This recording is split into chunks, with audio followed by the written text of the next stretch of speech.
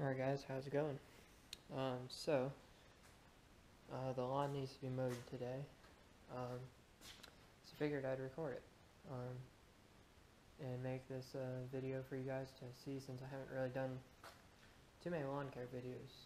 Um, actually it's a lot less than what I had planned to be doing, unfortunately, but today's finally starting to cool off, so here we're gonna do some mowing.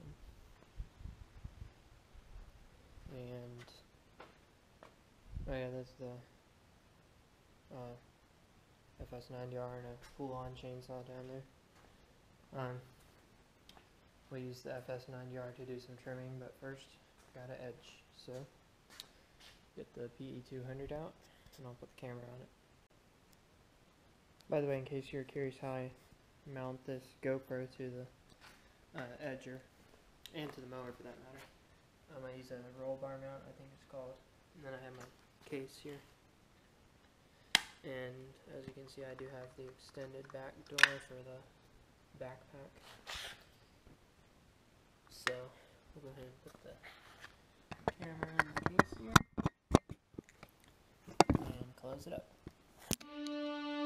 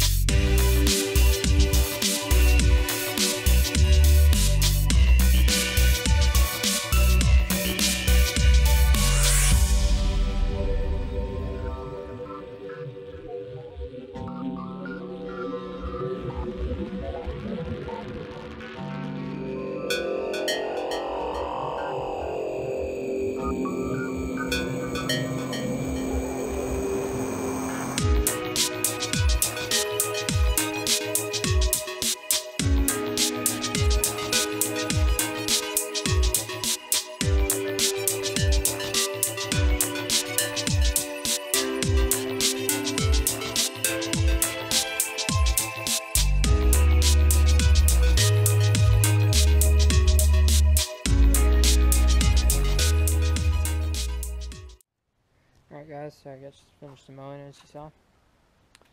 Um, piece of equipment you haven't seen out used much lately this year actually. It's the old 130 BT. The the BR600 replaced. Figured haven't had this running for about a month or so I think. So let's start it up and blow everything off with it.